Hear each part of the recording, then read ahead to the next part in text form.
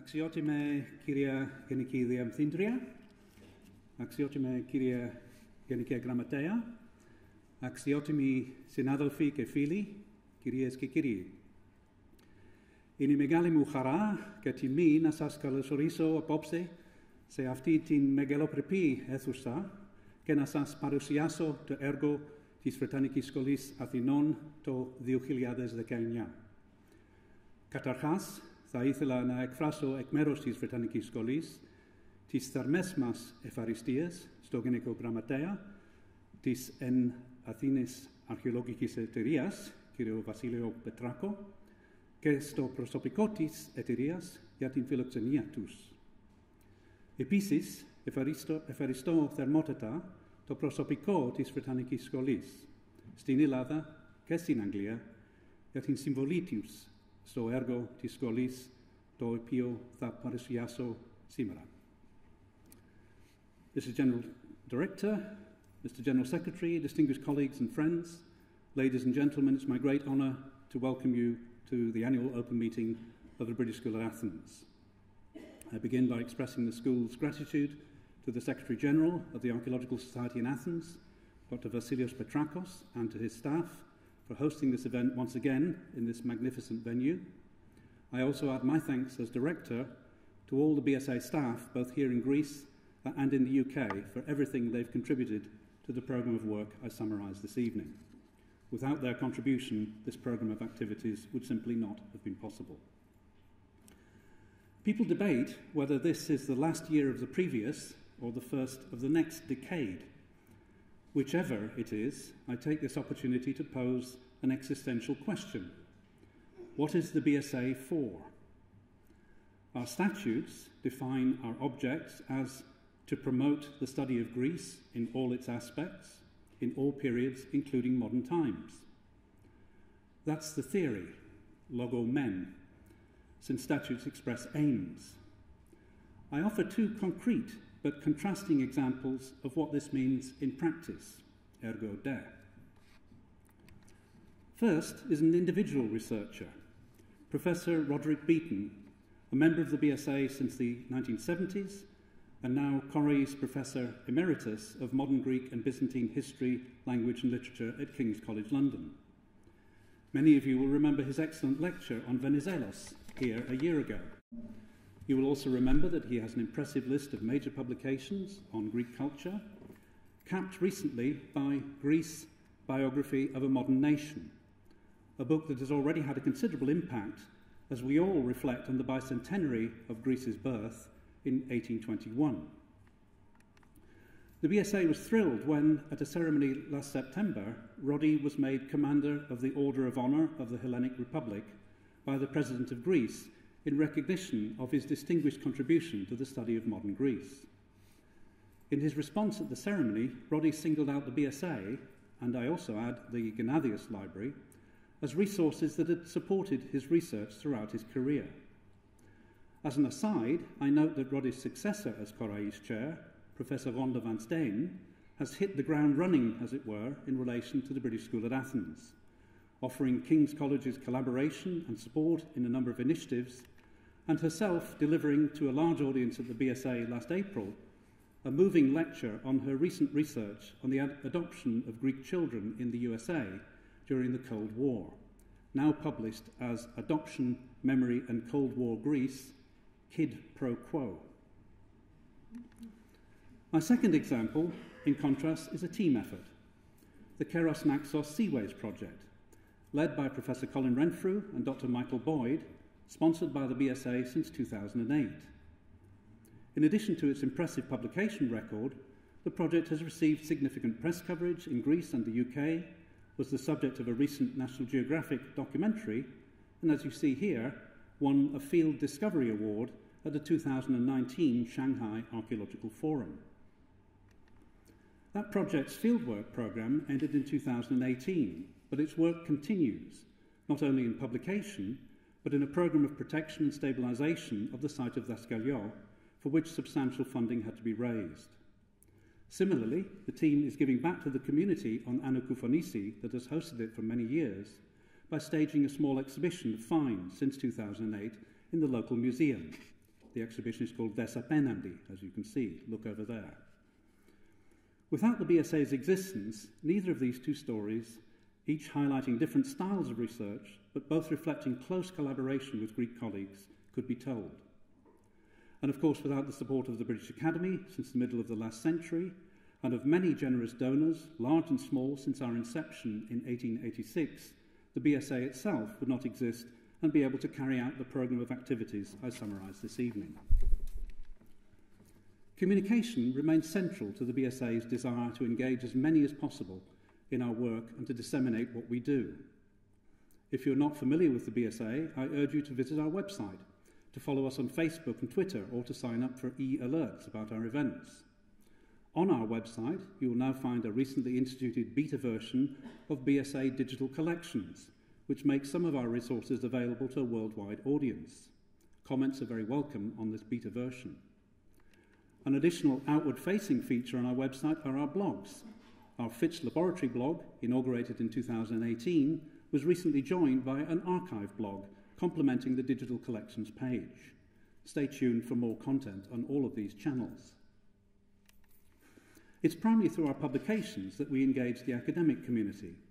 In 2019, we have not only published our two print journals on the left, the Annual of the British School at Athens and Archaeological Reports. The latter is produced in collaboration with the Hellenic Society and with the much appreciated, generous cooperation of many colleagues here in Greece. The journal is now under the joint editorship of Drs. Yannis Galanakis in Cambridge and Andrew Shapland at the Ashmolean Museum in Oxford.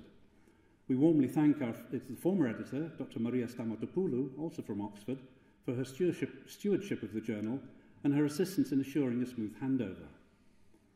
2019 saw another volume, the eighth so far, in our Modern Greek and Byzantine Studies series, published by Routledge, Insular Destinies by Paschalis Kitromilides, a collection of his essays on the recent history of the island of Cyprus.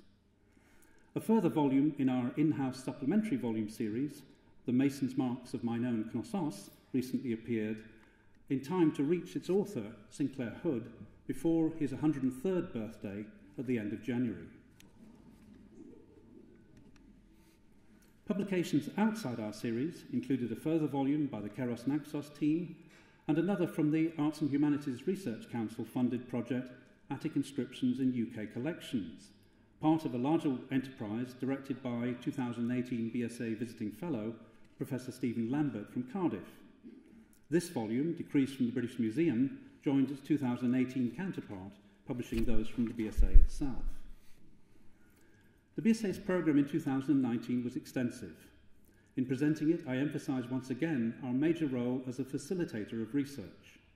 We bring UK based researchers into contact with their counterparts in Greece and vice versa. We also offer links to the other foreign schools and institutes in Athens. There's more information in our June and December newsletters, which are available for download from our website, and many of our lectures are also available in our video archive, also on the website. Public lectures in Athens included the annual Fitch lecture deli delivered by Professor Glynis Jones from Sheffield, also a BSA Vice President, on the origins and spread of agriculture. What do the plants have to say? The annual Beda Archive lecture given by Celeste Farge from the British Museum on the William Gell's journals at the BSA and at the British Museum.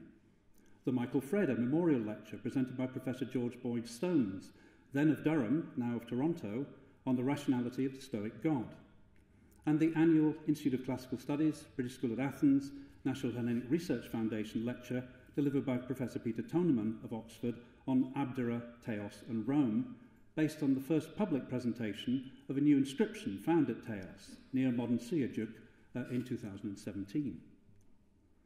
The BSA also hosted several conferences on Sir Arthur Evans and the Great War in partnership with the Ministry of uh, Culture and Sports and the Athens Symphony Orchestra, including a rare performance of Delius's Requiem, introduced by Delius scholar Professor Daniel Grimley from Oxford, a broad ranging exploration of popular music of the Greek world, an innovative exploration of craftsperson mobility in the archaeological, historical, and ethnographic record in collaboration with the Hellenic Folklore Research Centre of the Academy of Athens, and on tokens, the Athenian legacy to the modern world, in association with an EU funded research programme based at Warwick University.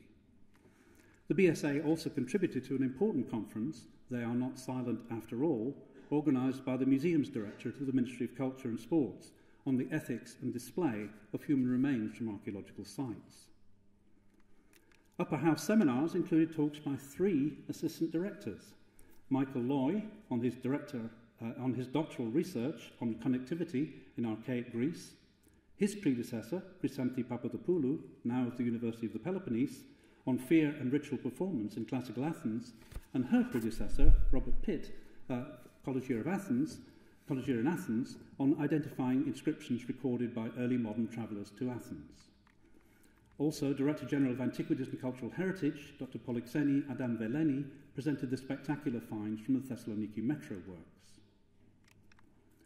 Book presentations included Anne Eldridge's Monemvasia, People, Place and Presence, Angie Hobbs's Ladybird Expert book on Plato's Republic, Caterina Galani's Brill volume, British Shipping in the Mediterranean during the Napoleonic Wars, and Michalis Ganas, a Greek ballad, a bilingual selection of his poetry published by Yale University Press. The evening, attended by Ganas himself, included readings and musical settings of his poems. We also helped the British Council celebrate 80 years in Greece by hosting an evening of poetry written and performed by Bristol based Vanessa Kisuule, and Athens based Pavlina Marvin, entitled 80 Years Ago, 80 Years From Now. In the UK, there were events in Manchester, Newcastle, and St Andrews, while in London we hosted the annual British School at Athens Institute of Classical Studies lecture by Dr. Maria Andreadaki Vlazaki, former Secretary General of the Ministry of Culture and Sports, on human sacrifice in late Bronze Age Hanya, Edith Hall on modern responses to Troy in connection with the current exhibition at the British Museum, and Victoria Hislop in conversation with former UK Ambassador to Greece John Kittmer. Last month, we held panel discussions in both Athens and London on migrations and diasporas, covering both contemporary migration and historic movements.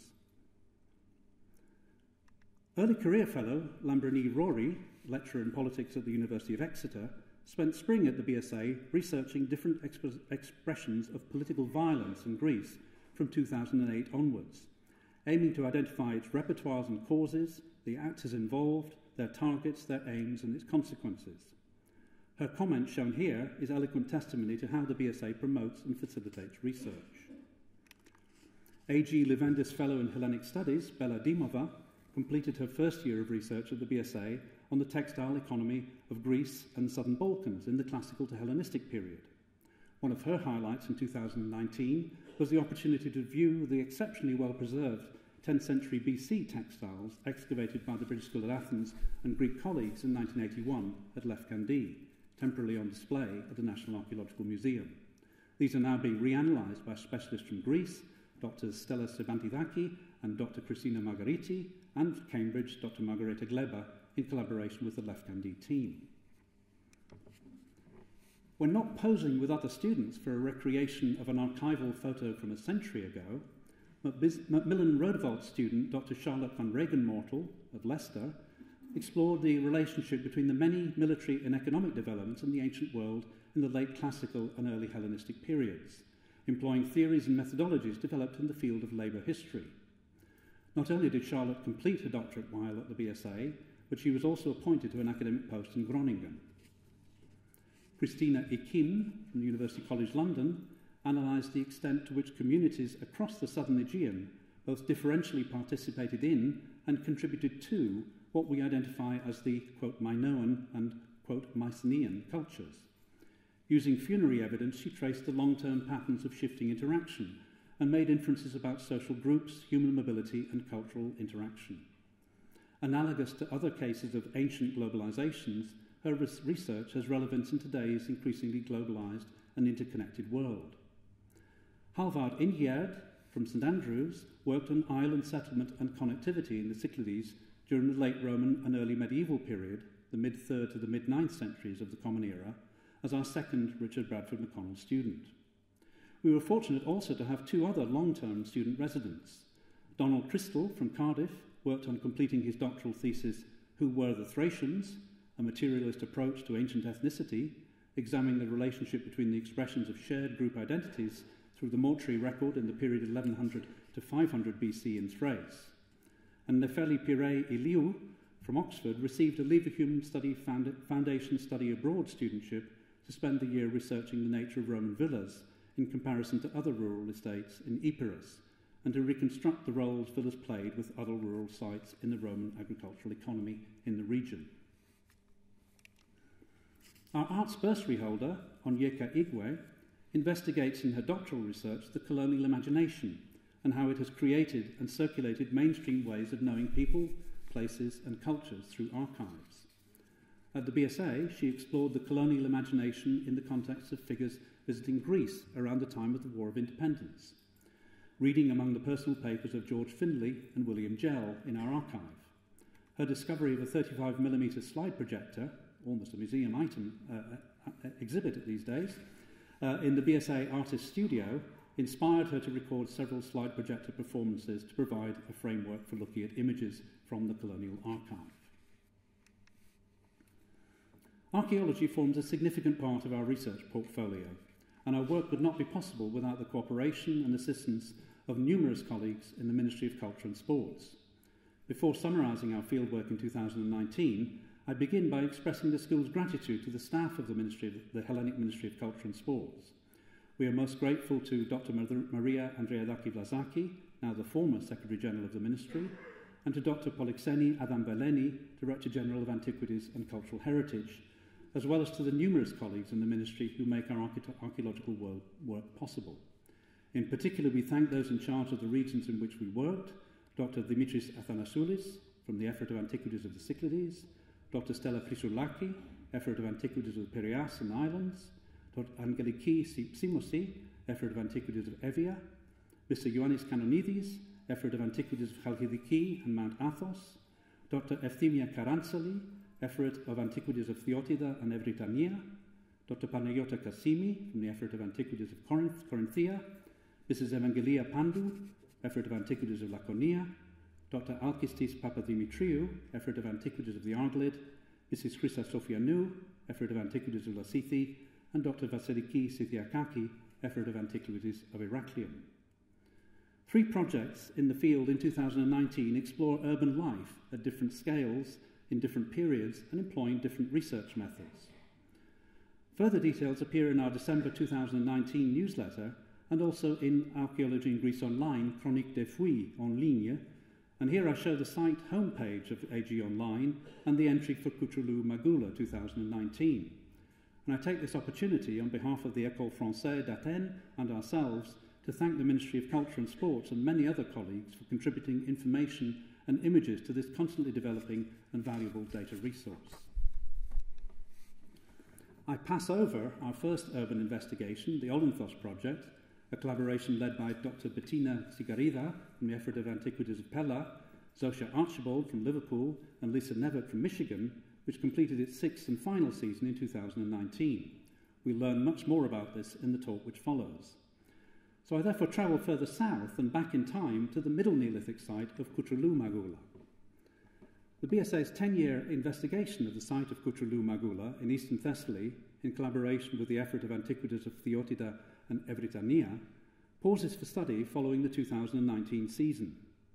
Initiated in 2005 by Dr. Nina Kyparissi, Director Emerita of the Ephorate of Speleology and Paleoanthropology of Southern Greece, the collaborative project with the BSA led by Professor Yannis Hamilakis, then at Southampton, now at Brown University, and also by Vasilis Tsiamis, Tsamis of University College London, had its first season in 2010.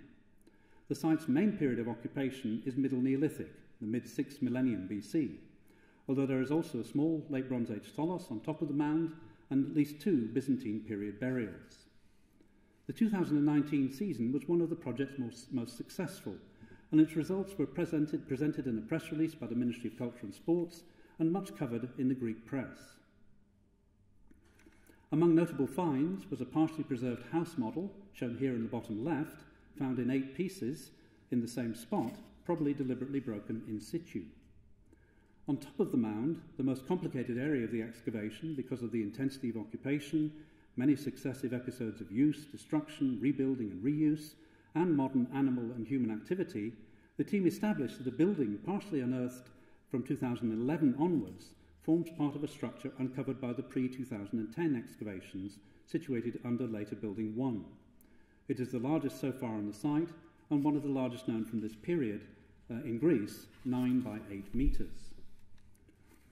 In Trench C15, a priority was to confirm the existence of kilns and to excavate and document in detail the best preserved example while clarifying whether other similar features were present. A focus was on kiln feature 2, identified in prior seasons. Painstaking excavation of the heavily burned, hardened red clay fill revealed the kiln floor after careful removal of the interior and exterior fills. The kiln's overall shape is that of a rounded trapezoid, about a metre across, its floor well plastered with a buff white layer of plaster, and the kiln opening at its southern end. The excavator suggests that the superstructure of the kiln was a, was a gently curved dome with a central chimney resting on its walls. In the southern half of the trench, additional ovens or kiln features may exist, but it was not possible to define them clearly.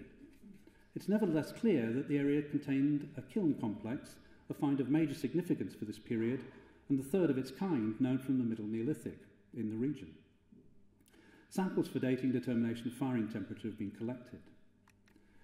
In Trench He 16, uh, 16, opened in 2017 to verify the existence of a ditch identified by geophysical excavation investigation, the goal for 2019 was to excavate fully and define the shape of the ditch. Excavation was constrained but revealed that the ditch was U-shaped, stepped on its eastern and western side. Five fill contexts were identified, suggesting a complex history, including periods of natural filling, perhaps during abandonment of the site. The ditch does not seem to have been defensive, but was probably used for water management, for garden cultivation, or for watering animals. Another possible use, however, was for clay extraction. Its proximity to the area of the kilns, only 30 to 40 metres away, strengthens this assumption. The project's theatre archaeology programme continued with a performance conceived by Efthymis Theou and Elektra Angelopoulou on the theme of women, involving the on-site participation of a group of women of various ages from the two closest villages, Neo Monastiri and Vardali. About 200 people took part in the site tour, performance, and the following feast. Plans are now underway for the long term preservation of the site and its development as a heritage space open to the public through a collaboration with the University of, Western, of Western Attica Conservation Department. The team is now focused on publication, including the proceedings of a two day workshop held at the BSA in January 2019. In 2019, the Knossos Gypsades project, in collaboration with the Heraklion Ephorate of Antiquities, continued to investigate a neighbourhood within the southern suburbs of the Bronze Age megacity of Knossos, combining study with further investigation of the larger site. The 2014 to 15 excavations of Building 1 and adjacent areas, combined with Sinclair Hood's nearby excavations and Hogarth's houses A and B, revealed the contour, contours of a Knossian neighbourhood. Geophysical survey, begun in 2018, continued in 2019 to situate this excavated neighbourhood within its wider context. Previous magnetometry and resistance surveys carried out in 2010 and 11 did not offer a clear picture of the detailed layout of structures. Renewed geophysical survey in 2018 thus in integrated three intensive high-resolution geophysical survey techniques, magnetometry, resistivity, and ground-penetrating radar, GPR, to achieve a, a detailed mapping of subsurface features across the two, two hectare uh, expropriated plot. Work in 2019 focused on magnetometry and GPR, given the success of these techniques in 2018. Survey was carried out in a 20 metre grid for both methods. Because fieldwork only finished in mid-December, GPR results are not yet available, and magnetometry results are the focus of this report. Combining data from both 2018 and 2019, the survey shows an extensive array of positive, black, and negative, white anomalies consistent with archaeological features and deposits. In 2018, survey had revealed the possible trackway running from north to south in the centre of the open area to the south, with a possible complex of buildings immediately to the west. 2019 survey confirms there are further orthogonal, orthogonal uh, negative uh, magnetic anomalies thought to correspond to additional buildings in the northern and eastern parts of the survey area. Buildings are thought to be visible because of the contrast between the fills of the rooms and the walls, rather than the magnetic properties of the materials used to construct the walls. One of the contributions of the Geophysical Survey is to pinpoint the location of the Sanctuary of Demeter, a classical sanctuary with Minoan deposits beneath, excavated in the 1960s. Using the magnetometry results and the published excavation photographs, it appears likely that the sanctuary is situated as shown here, in the northwestern part of the plot. Processing of GPR results will generate new information to assess and refine this inference further. The fieldwork carried out by the Gypsades team reminds us that Knossos remains a key focus of BSA research, and we're delighted to be contributing three lectures next month on the BSA's fieldwork in Crete the cycle of lectures currently being held at the Museum of Cycladic Art. Our activities extend from work on legacy material, the House of the Frescoes I reported last year, study for publication of the Neolithic site excavated by John Evans, now nearing completion, uh, and the recent publication of the Minoan's Mason's Marks, just referred to above, as well as ongoing study of the size and shape of Knossos through time, through time by the Roman Geophysics Project that ended in summer 2018, and the Knossos Urban Landscape Project, which published online in 2019 seven papers spanning the entire history of Knossos' occupation as part of the proceedings of the 12th International Cretological Congress. Crucial to this work as a, both as a base for research and as a resource in itself, is the Knossos Research Centre that contains Knossos, the Knossos Stratigraphical Museum, known affectionately by us as the Strat. As many of you know, the Strat has long been in need of serious renovation, and the BSA has worked for some years to develop plans for its reconstruction, as shown in this visualisation. Those plans are now ready, and we're working towards their approval towards the end of 2020. With an estimated price tag of £2 million, this is, we think, the largest capital campaign the BSA has ever undertaken. We have branded it the Knossos 2025 project, and it will require planning, participation, and partnership on a very large scale. We've made a start in raising awareness of the project at a high profile Minoan flavoured event, accompanied by Minoan food by Minoan Tastes and Cretan music by Ross Daly and Kelly Thomas, generously hosted at the UK Ambassador's residence last May. Our serious fundraising campaign will get underway in the coming months. Our Knossos curator, Kostis Christakis, has devoted considerable time and effort to managing and driving this process forward, and I express our thanks to him for all he has done so far. An important component in the broader campaign is public engagement at Knossos, and Kostis has excelled at this in 2019. In July, he organised Earth, Water, Fire, celebrating Cretan pottery from antiquity to the present, together with the Thrapsano Cultural Association, the Centre for the Study of Modern Pottery, G. Psaropoulos Foundation, with assistance from the region of Crete and the participation of the ephorate of Antiquities of Heraklion and the potters of Thrapsano themselves. Events included lectures on Cretan pottery from prehistory to the present, as well as guided tours of the Bronze Age palatial centre of Galatas and the Byzantine church of Aios Panteleimon at Vitsariano, plus an exhibition of photographs by Ronald, Ronald Roland Hampe and Adam Winter. These occasioned emotional moments when those portrayed in the photographs shared their memories and emotions 50 years on.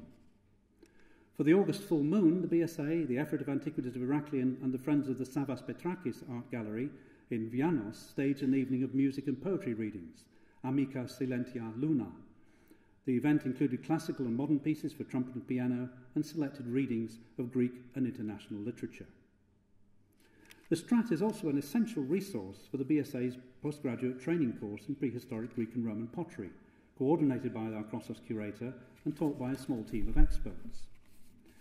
We view our courses as the BSA's contribution to the next generation of researchers, starting with the undergraduates who take the BSA's longest running course, run for the 47th time in 2019, a three week masterclass in the archaeology and topography of Greece, led by the assistant director and featuring guest lectures by local specialists and entry to areas not normally accessible. We express our gratitude to local colleagues who offer their expertise and facilitate all our courses in many ways. In addition to postgraduate training courses in Greek epigraphy and Linear B and Mycenaean Greek, the Fitch Laboratory inaugurated a course on glass in the Mediterranean and Near East that will now alternate with the ever popular Introduction to Ceramic Petrology that ran for the ninth time in 2019. That conveniently brings me to another important BSA research facility, the Fitch Laboratory, now in existence for 46 years, which hosts and facilitates research in various fields of science based archaeology, including human osteology and zooarchaeology, contributing to their full integration within archaeological practice in Greece. It was a great pleasure to host at our London annual general meeting last week a lecture by Fitch Laboratory Director Evangelia Kyriazi, summarising the last 10 years of the Fitch's activities. This lecture should be available to view shortly in the BSA video archive. 2019 was another productive year for the Fitch, which hosted eight postdoctoral researchers, five doctoral students, and over 40 visiting scholars from around the world. These scholars represent more than 30 research projects associated with the study of ceramics, as well as biological materials, from a number of sites across the Aegean and beyond, investigating questions of continuity and innovation, mobility of goods and people, technological transfer, colonization, and economic and social transformations from the early Neolithic through to the Byzantine periods. I present merely a selection here. Last year saw the final stages of TRACT, a Marie Sklodowska Curie project carried out by Bartek Lis under Evangelia Kyriazi's supervision. The project's aims were to identify and, more importantly, to understand the movement and relocation of Aeginetan tradition potters along the Euboean Gulf, the Evian Gulf, around 1200 BC. The main questions posed concerned the potters' motivation to leave Egina, the duration and scale of that movement, their interaction with local societies, familiarization with new landscapes and resources, and on a more general level, to situate this phenomenon within a complex picture of social and political changes characterizing the final stages of the Bronze Age in the Mediterranean.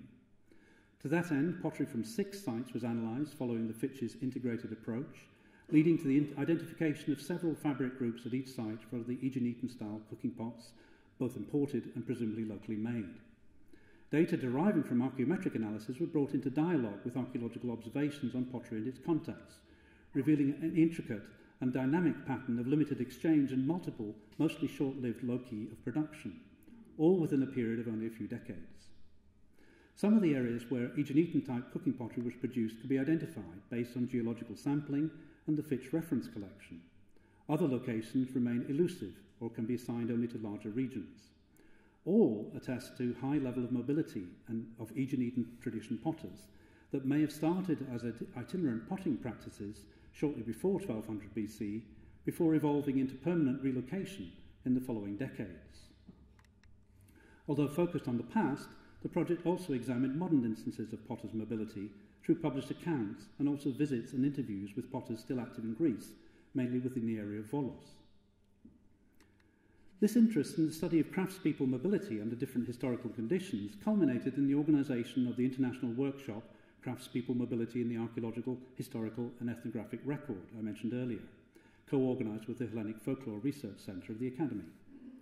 Archaeologists, ethnographers, folklorists, art historians, and historians working in the wider Aegean region engaged in dialogue to stimulate inter- interdisciplinary interaction in the study of human mobility and enhance our understanding of the complexities behind that mobility, focusing on the same geographical region but in different, different historical contexts.